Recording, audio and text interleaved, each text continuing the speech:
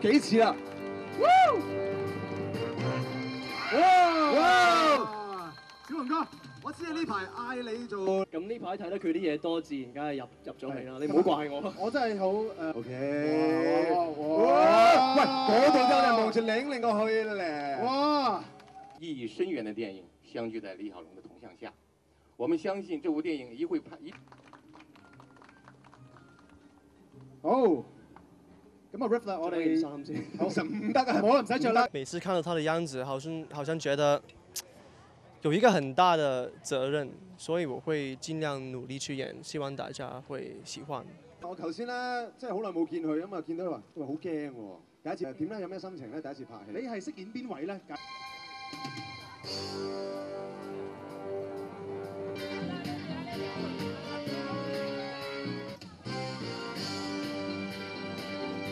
深刻其实是不是他打架，是他的说话的方式。我觉得他他是个很聪明、很聪明的人，而且他的想法是很清楚的。那我觉得，就算你不是练呃武功啊功夫的，你也可以去嗯、看看他说话，去学他其实后面在想什么。系喺一九呢個誒二零零五年嘅时候，十一月二十七号，你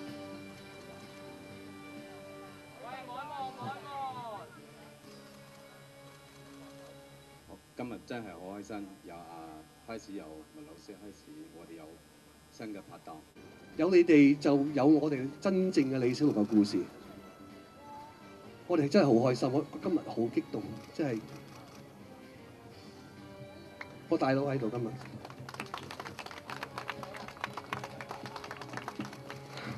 先要認可咗我哋係用咩角度去拍呢一套李小龍先。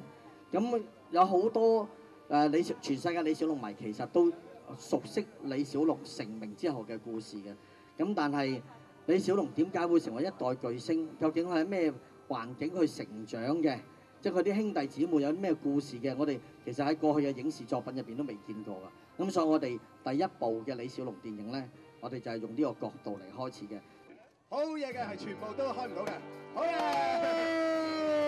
預祝李小龍呢部電影大爆雲世界各地。好，再爆！